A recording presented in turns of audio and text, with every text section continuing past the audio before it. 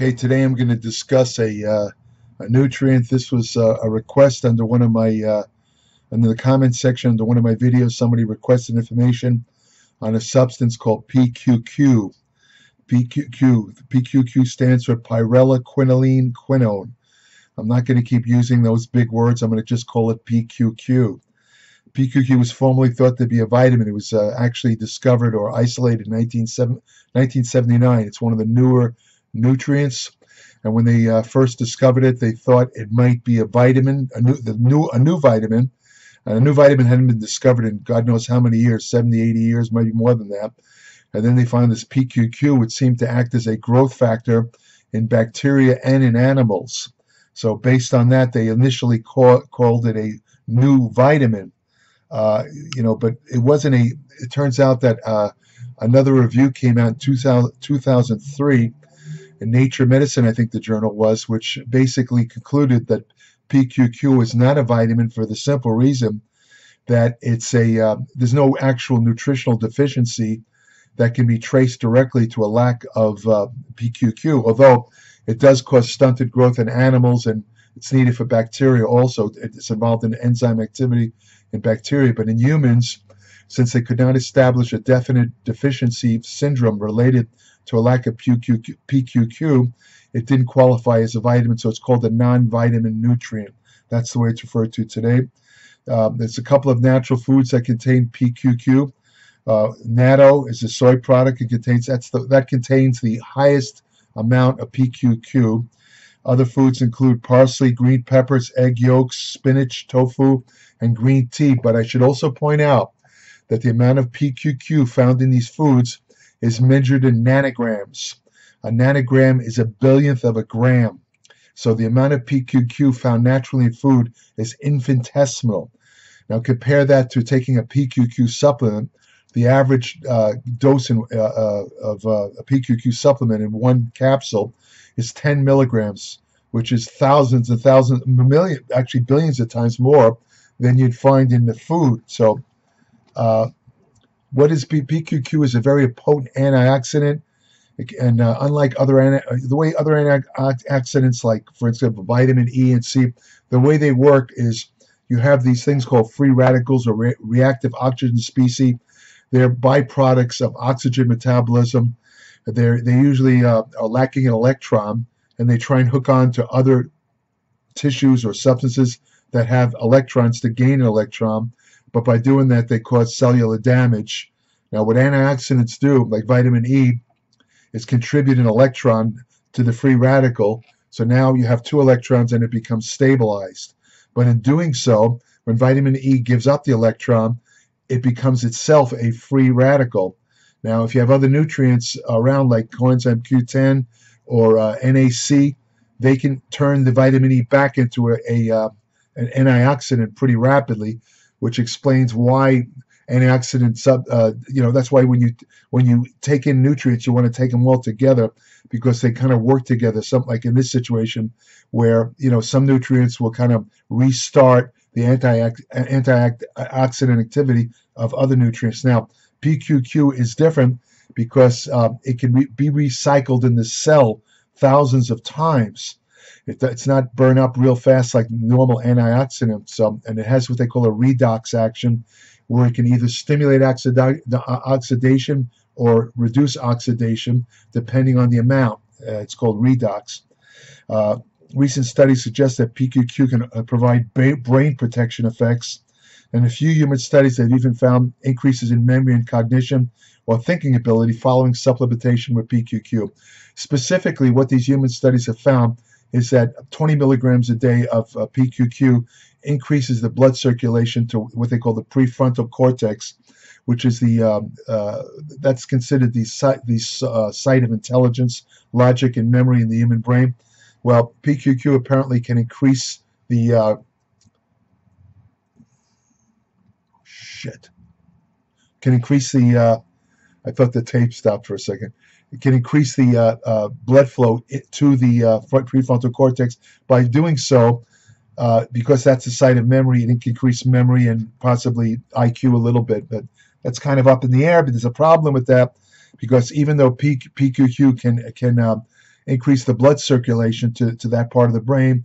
PQQ itself cannot enter the brain. So it can increase the blood circulation, blood circulation, but it can't enter the brain itself. Uh, PQQ can also also offer some anti-inflammatory effects. Uh, there was a study of 10 subjects that lasted for a month.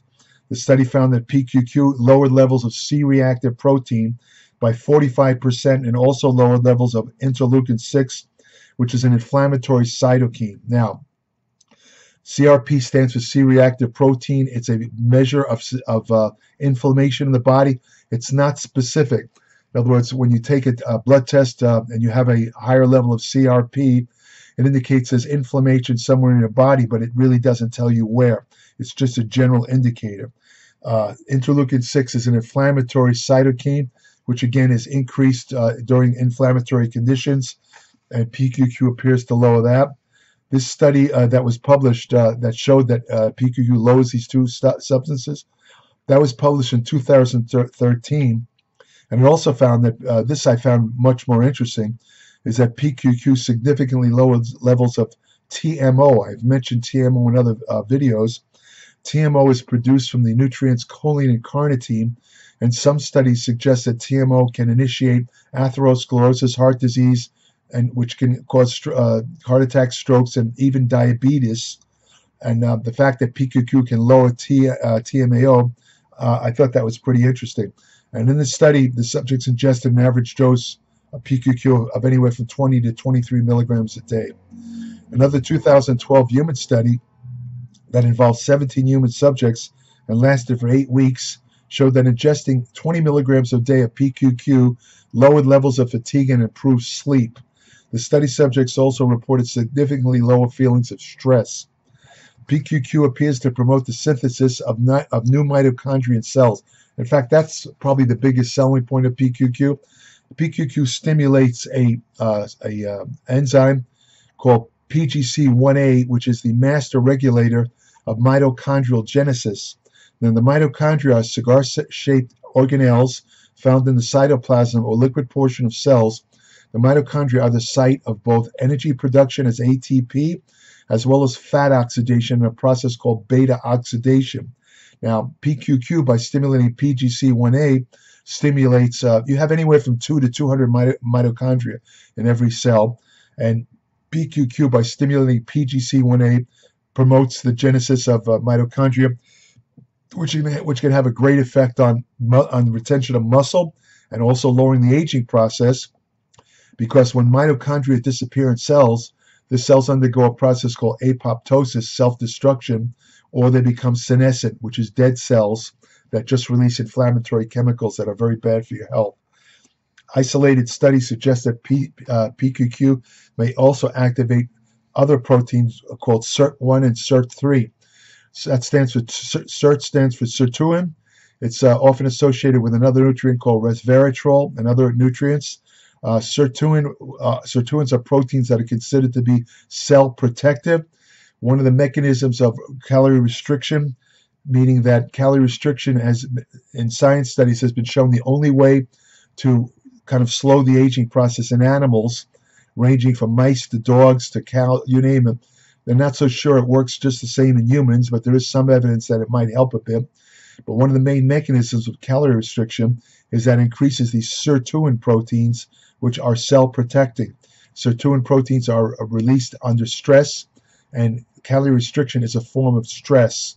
Uh, that uh, you can call it good stress because it induces a number of changes in the human body that lead to cell pres preservation. A study out, of Japan showed that supplementing with with, with PQQ uh, significantly lowered levels of LDL, LDL cholesterol in 29 adults, and I've talked about LDL cholesterol.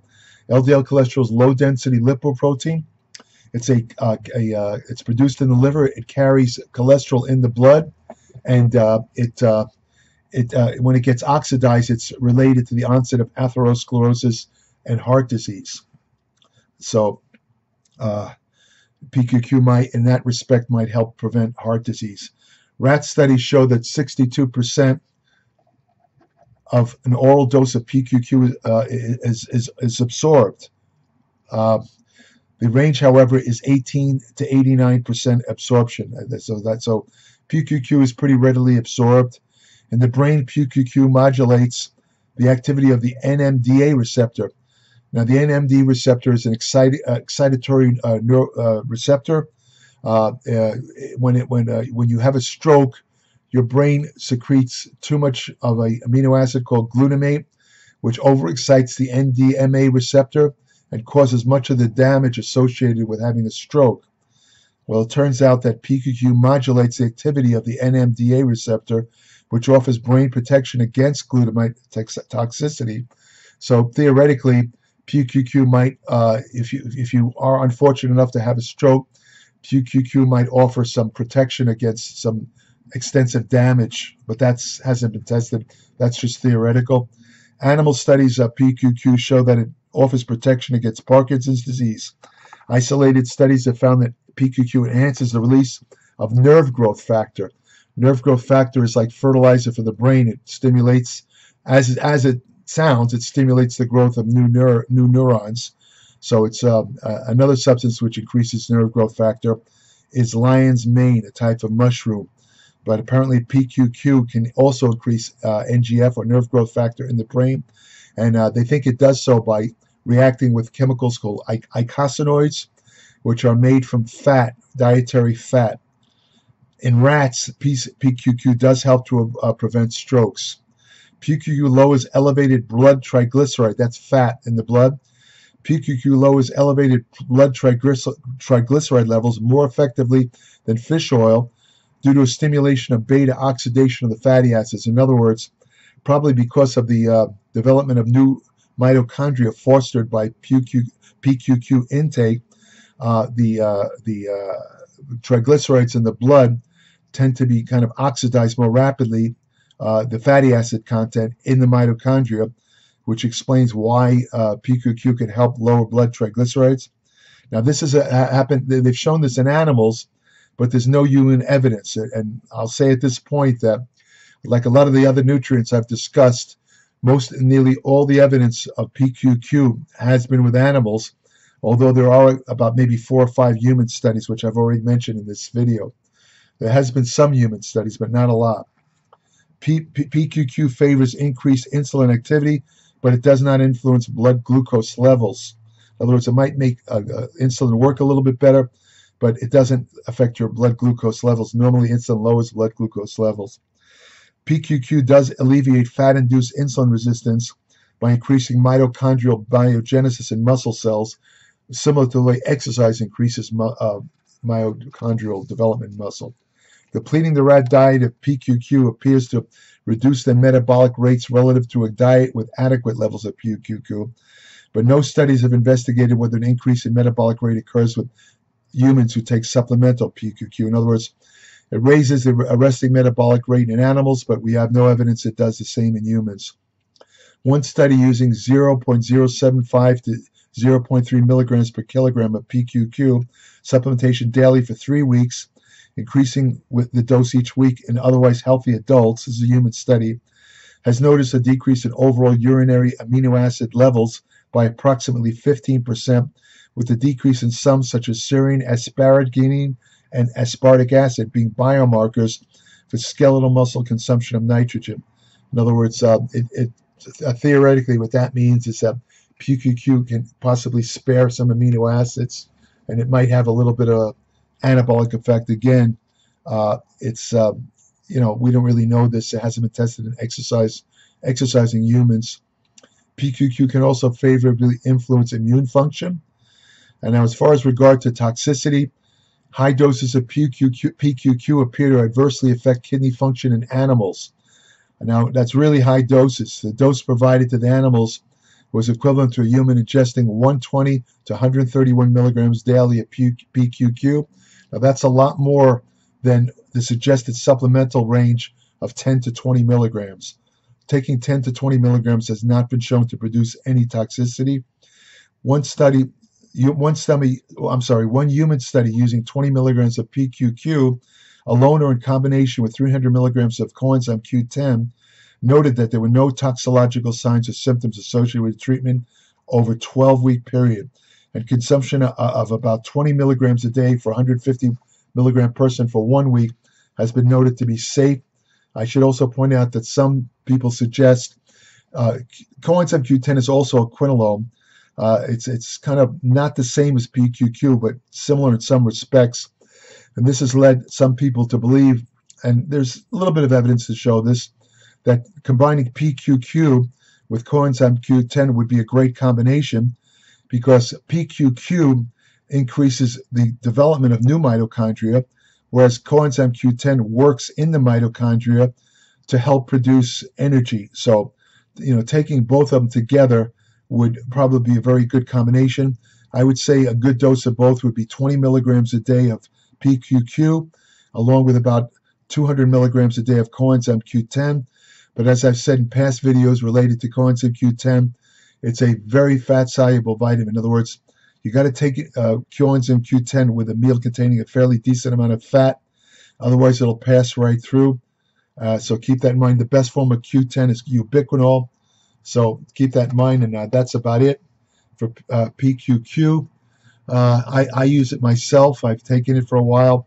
Uh, I can't tell you whether I've noticed anything. I take it mainly because of the, the mitochondrial effect.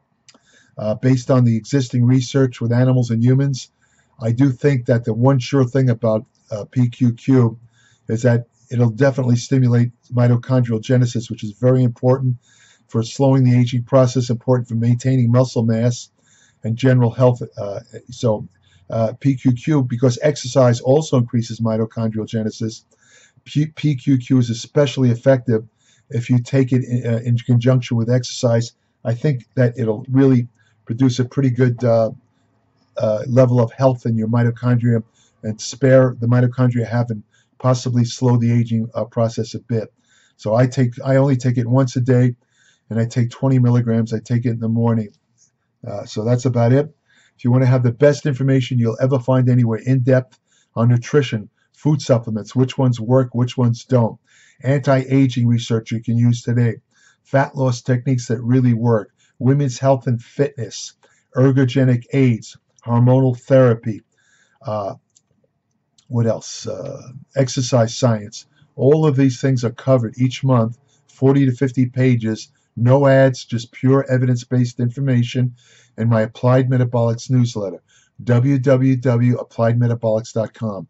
It's written in simple English. I have well over 40 years of writing, professional writing experience. I know how to translate technical terms Anybody who's gotten as far as the sixth grade will be able to fully understand my Applied Metabolics newsletter, unlike some other uh, digital publications which are written in kind of medical journal style, very hard to understand, very hard to read.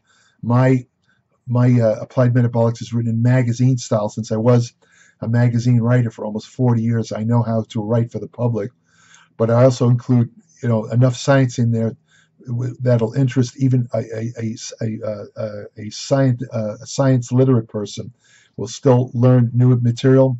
In fact, I don't care what your educational level is, you'll you'll learn something every month in my Applied Metabolics newsletter. I guarantee that. So you know, uh, subscribe today. www.appliedmetabolics.com.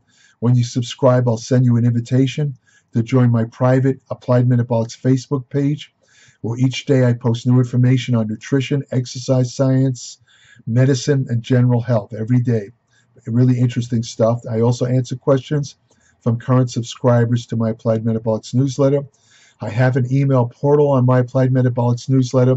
However, it's strictly for current subscribers of my Applied Metabolics only. I don't answer unsolicited questions.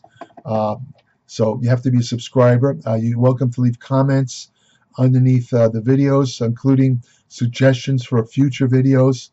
Uh, I, I sometimes answer the comments, sometimes I don't. It depends on my time. But you're welcome to leave comments. Uh, and uh, if you want to have the best friend you'll ever have, go to your local shelter, adopt a dog. They're the best. Thank you for listening.